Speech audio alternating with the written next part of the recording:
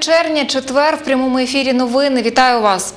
У Вінниці сьогодні відкрили меморіальну дошку землякам, які загинули в зоні АТО. Пам'ятну таблицю розмістили на будівлі міжрегіонального вищого професійного училища. Чотири випускники цього закладу загинули під час бойових дій на сході. Право відкрити пам'ятний знак надали рідним. На заході також були військові, побратими героїв та студенти училища.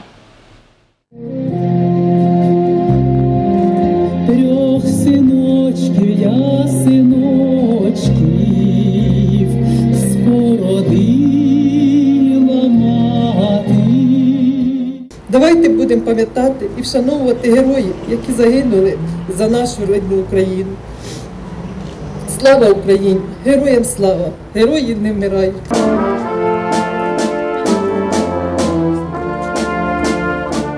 Пішов він добровольцем. Був на сході всього 4 місяці. І снайпер це забив. Мій батько був хороший, був справжній герой.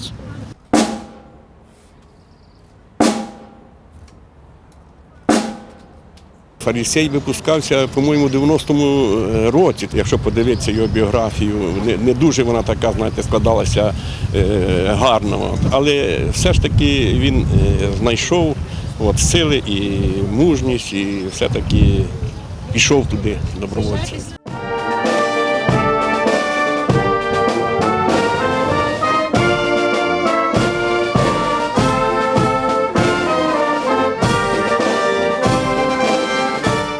Ми знали Івана Івановича Бенеру.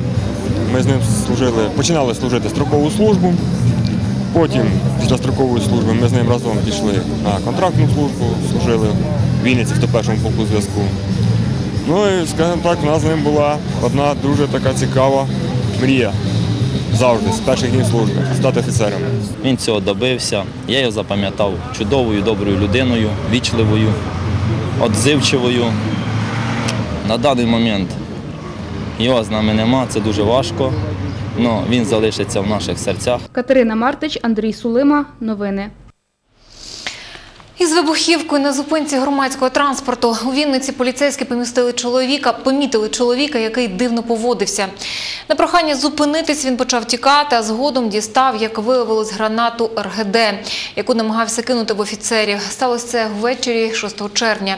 Поліцейські встигли зреагувати і затиснути небезпечний предмет у руці правопорушника. На місце прибули вибухотехніки та слідчі. У чоловіка також вилучили запал до гранати. Наразі вирішується питання про обрання йому міри запобіжного заходу. Вибухотехніки знешкодили цей снаряд. Виявилося це е, бойова граната РГД-5 з запалом. Запал до гранати у правопорушника також вилучили у сумці на місці події.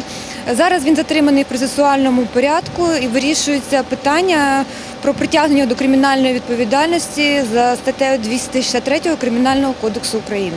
Правопорушником виявився вінничанин, йому 33 роки. Чоловік раніше притягувався до кримінальної відповідальності за вчинення крадіжок. Він пояснив, що гранату знайшов на вулиці і ніс здавати в поліцію, але не встиг, бо його затримали працівники поліції.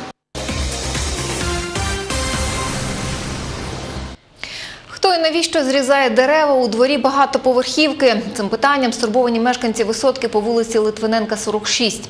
Люди скаржаться, що пиляють здорові дерева. Комунальники ж кажуть, зрізали, бо цим насадженням більш ніж 30 років, і вони в аварійному стані. Яка інстанція надала дозвіл на зачистку і чи офіційно все це дізнавалась Дар'я Красовська.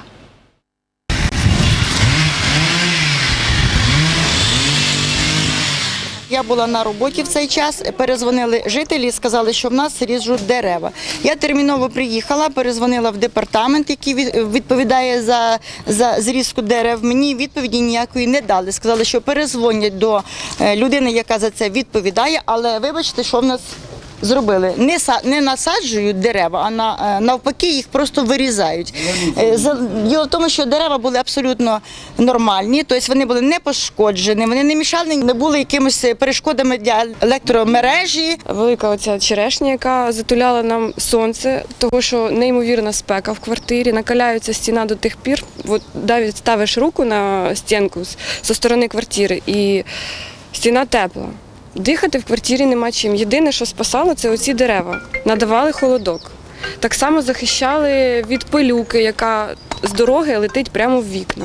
Телефоном жінка звернулася до головного інженера житлово-експлуатаційного об'єднання. Ми звернулися до благоустрою, і нам сказали про те, що ЖЕО надав заявку на вирізку дерев. Кто сказал вам такое? В благоустрії. Могут резать от міської ради. А дерева большие? Ну так. Да. Деревам більше, ніж 20 років, і вони абсолютно були міської ради, потому что мы, если от нас то от нас режут или сухостой, или тоненькие, там, де- 10 сантиметров в ширине. Це значить, чи міська рада, чи Зе- Зеленбуд. Це, це вам ніхто не питає людей, чесно слово.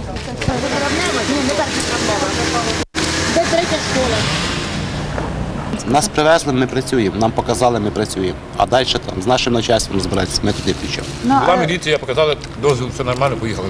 На даний момент е, мені був виданий перед виїздом на роботи ордер на руках і акт на знесення аварійних дерев.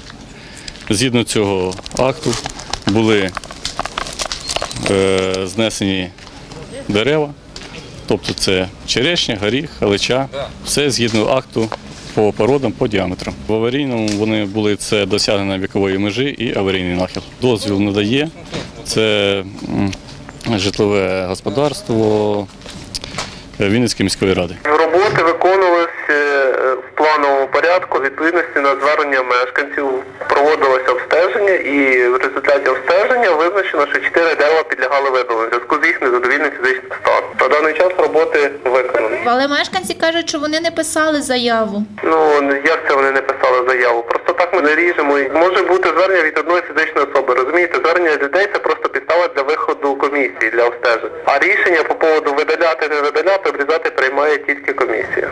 Дар'я Красовська, Юрій Добровольський. Новини. –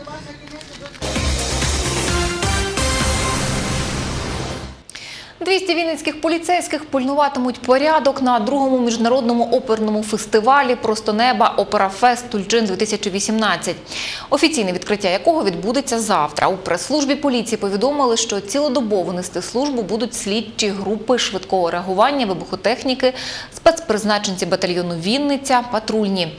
Всі місця проведення заходів заздалегідь обстежують фахівці вибухотехнічної служби.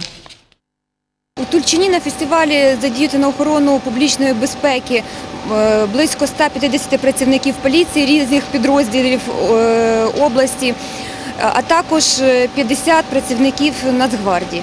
Сподіваємось на розуміння громадян, на толерантне ставлення один до одного, до учасників фестивалю і гостей, які його відвідують. Е, Якщо будуть виявлені якісь предмети, щоб люди повідомляли, ну, під- якщо у разі виявлення небезпечних предметів е, чи підозрілих, чи підозрілих осіб, чи вчинення правопорушень, щоб люди звертались е, негайно до поліції. Майстер-класи з виготовлення сувенірів, прикрас та подарунків в експоцентрі торгово-промислової палати розпочав роботу він Арфест. Фестиваль подарунків ручної роботи вже в 10-те презентує у Вінниці сувеніри, смаколики та цікаві речі, створені майстрами. Ядки з хендмейд-виробами, аксесуарами, іграшками, солодощами. У Вінниці стартував Він Артфест, де майстри ручної роботи презентують свою творчість. Він Артфест є своєрідним майданчиком для обміну досвідом, ідеями та можливість презентувати і продавати свої вироби, каже львів'янин Валентин Колонтай. Я цим заробляю. Є величезна кількість артрумів, є величезна кількість магазинів хендмейду, куди можна приносити своє добро. Плюс є інтернет. Хлопець завжди цікавився традиціями часів античності та середньовіччя, а п'ять років тому почав виготовляти унікальні речі, використовуючи техніки тієї епохи. Вони несуть атмосферу. Шитий тут не видно, тому що під шкірою, але шитий так званим ланцюжковим способом, який використовувався в Візантійській імперії. Блок зшиваємо самі, палітурку робимо, монтуємо самі. Це політурний картон і овеча шкіра. Старовинну техніку оздоблення каменів використовує і вінницька майстриня Оксана Данильченко. Вишивка бісером в нас є. Та? Вишивка, звичайно, в нас є. Зараз дуже багато різних технік, а от сутажна вишивка треба людям пояснювати.